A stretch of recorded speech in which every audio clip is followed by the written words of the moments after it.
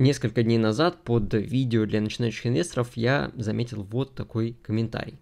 Выключил видео, увидев общий убыточный доход. И надо сказать, я прекрасно понимаю этого человека. А, очевидно, что это начинающий инвестор, и я вот когда только начинал инвестировать, я мыслил ровно таким же образом. То есть я, да, тоже смотрел какие-то а, каналы на ютубе, где рассказывают что-то про акции, инвестиции, там, заработок, а, какие-то бешеные доходности и так далее. И я вот когда смотрю, да, что человек там делится, что вот у меня там убыток, а, ну, сколько-то процентов, просадка на рынке, крах а, рынков, да, инвестиционных и так далее. Я смотрю, ну, как же так? Если ты успешный инвестор, как же ты допустил такую вот оплошность, что у тебя убыток по портфелю идет? А, но тут надо сказать, не все так просто, и делать вывод э, на основе цифр, которые вы видите на экране, некорректно. Давайте разберемся, в чем же тут дело. Я вот сейчас все расскажу и покажу на своем примере. В том видео я рассказывал ну, про разные активы. Э, ну, давайте сосредоточимся конкретно на вот этом брокерском счете. Он называется РФ. Это акции российских компаний. Здесь сборная солянка. То есть здесь есть и дивидендные акции, и голубые фишки, э, и какие-то истории роста, да, то есть компании, которые, когда я добавляю к себе в портфель, я рассчитываю на то, что они вырастут непосредственно в теле Пускай, да, она не платит дивиденды, ну, если это какая-то развивающаяся, да, история, если хорошая инвестиция, хорошие там показатели и так далее, то компания может именно вырасти в цене. Э, какие-то компании платят дивиденды, но могут не показывать какой-то ошеломляющий прям рост. Вот, допустим, да, Газпром нефть платит дивиденды, э, достаточно хорошие, но э, не растет сильно в цене. А, все еще зависит непосредственно от ситуации на рынке, ситуации в экономике. Все это влияет на котировки акций. Все эти цифры, которые вы видите сейчас на своих экранах или на своем брокерском счете, они отражают лишь номинальный доход либо убыток. Что это значит? Вот смотрите, вы покупаете какие-то акции. Допустим, вы купили акции Озона. И вы стали владельцем акций. Но э, Цена акций не фиксированная, и она может изменяться под влиянием различных факторов. И пока вы владеете этими акциями, на вашем брокерском счете как раз таки цена будет изменяться тоже с течением времени. И пока вы не продали эту акцию, ваш доход либо убыток, они бумажные, номинальные. А, то есть, если вы продержите эту акцию еще какое-то количество времени, и ее цена изменится так, что она а, выйдет а, из убытка, допустим, либо пойдет в прибыль. И вот если вы продадите эту акцию, зафиксировав ее цену в конкретный момент времени, тогда уже можно будет сказать, имеется у вас доход по этой акции, либо убыток. Только тогда, когда вы выйдете из э, позиции в этой бумаге. Поэтому, вот смотрите, сейчас у меня просадка по портфелю примерно 14 тысяч рублей. И даже сейчас она может меняться. Вот видите, цены на экране изменяются. И тут надо сказать очень важную вещь. Даже если у вас имеется убыток по брокерскому счету, вот сейчас в моменте вы можете использовать эту ситуацию себе во благо, перевернуть это с ног на голову и даже на этом, ну, можно сказать, заработать. Что я имею в виду? Uh, у нас с каждой сделки, которая происходит с прибылью, вот вы купили акции за 500 рублей, продали за 1000, с этой разницы вы должны заплатить налог 13%.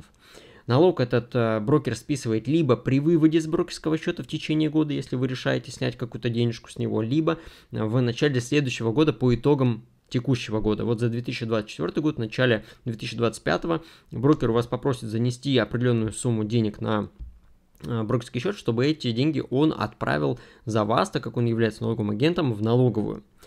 Но вы можете уменьшить вот эту налогооблагаемую базу. Она складывается из чего, как, как уже ранее сказал, что если вы совершаете какие-то сделки э, в плюс, да, то есть вот э, акции э, выросли в цене и вы зафиксировали эту позицию, то все эти сделки, вот они накапливается какая-то сумма, и с нее вы должны будете платить налог.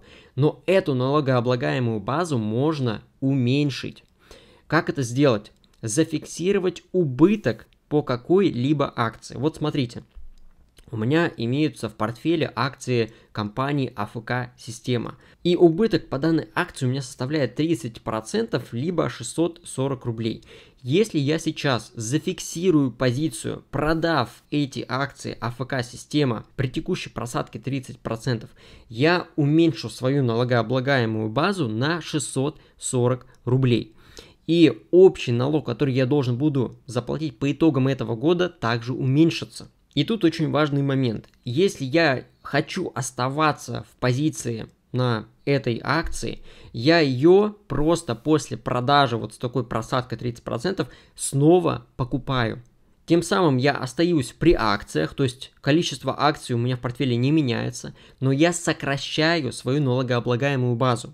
Этим лайфхаком пользуются многие инвесторы, если они понимают уже изначально, что у них очень много положительных сделок, если э, они видят у себя по портфелю, что есть какие-то акции, которые в ближайшем будущем не вырастут, то можно использовать вот такую фишку, чтобы вынести из этого пользу.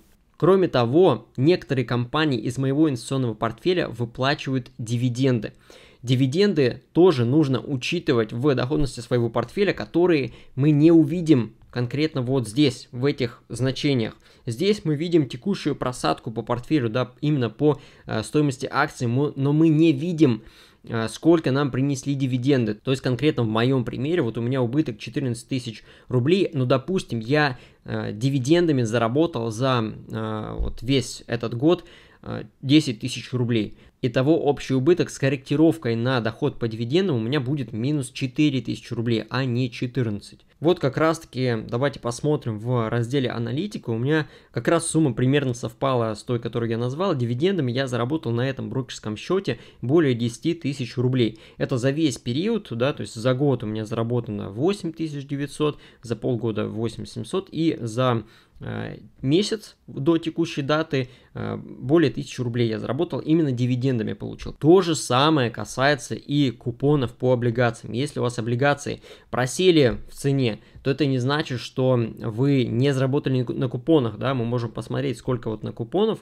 На купонах я получил более 3000 э, рублей за последний месяц, и всего за 6 месяцев э, почти что 8 тысяч заработал. Нужно это все учитывать.